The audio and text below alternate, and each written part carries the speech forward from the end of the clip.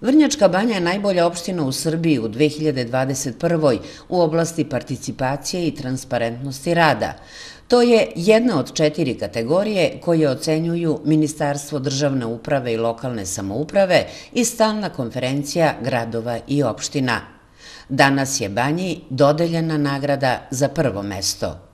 Dobra praksa i primjeri su nešto što mi nastojimo da prenesemo i drugim gradovima i opštinama i zato smo zajednički i pokrenuli ovu nagradu da bismo istakli one svake godine najbolje primjere iz prakse kako bi mogli da ih promovišemo i te primjere, ali i da prenesemo ta znanja drugim opštinama u Srbiji. Tako da danas nam je zaista zadovoljstvo da e, smo ovde, smo zajednički sarađivali na, na tome, radili već nekoliko godina na različitim aktivnostima koje su, nadam se, u dobroj meli pomogle, pomogli da opština stalno unapređuje svoj rad.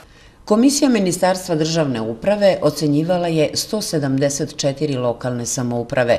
U kategoriji u kojoj je Vrnjačka banja proglašena za najbolju, vrednovani su transparentnost i učešće građana u donošenju lokalnog budžeta i generalno cela ta, ta, e, taj proces transparentnosti i otvorenosti lokalne samouprave da zajedno sa lokalnom zajednicom učestvuje u, izgradi, uzgra, u definisanju naj, najvažnijeg lokalnog dokumenta, to je lokalni budžet za jednu godinu. Tako da e, više tu naravno faktora bilo.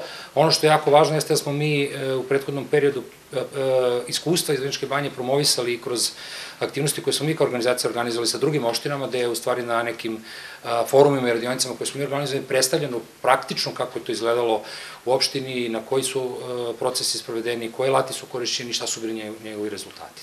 Ugovor o nagradi u vidu računarske opreme u ime opštine Vrnjačka banja potpisao je načelnik opštinske uprave, koji je podsjetio da je pre tri godine banja bila među tri lokalne samouprave koje su prve u Srbiji završile reformu poreza. Znači, sve gde možemo da privučemo sredstva i obezbedimo nešto za boljitak naših građana, to radimo na ovakav način i ono što želim da se zahvalim stalnoj konferenciji gradova i opština, jer dugi niz godina radimo i u saradnji sa njima radimo na usavršavanju i e, osposobljavanju kadrova za privlačenje baš tih stvari i projekata gde možemo od drugih sestava da obezbedimo nešto da bi naši građani imali realno bolji život ili bolju uslugu da bismo mogli da obezbedimo. Računarsku opremu koju su danas doneli predstavnici stalne konferencije gradova i opština čine tri brza skenera, isto toliko tastatura i monitora sa ugrađenim procesorom. Mesto im je već obezbeđeno u uslužnom centru opštinske uprave. Takođe ono što mogu da se pohvalim posle duži niz godina kako rukodim opštinskom upravom smo konačno dobili i sredstva za uslužni centar i očekujem da negde od septembra bude zaživo na pravi način, znači da konačno uvedemo taj jednošalterski sistem, da kada građanin bukvalno uđe na vrata opštinske uprave, sve završi u okviru tog uslužnog centra, da nema potrebe da ide ka drugim kancelarijama, nego sve da bude organizovano na jednom mestu i da izađe zadovoljno.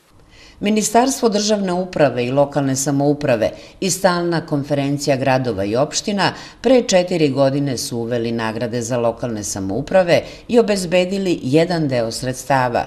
Drugi deo daje vlada Švajcarski u okviru projekta UNOPS-a, Kancelarije Ujedinjenih nacija za projektne usluge, koji se bavi razvojem dobre uprave u Srbiji.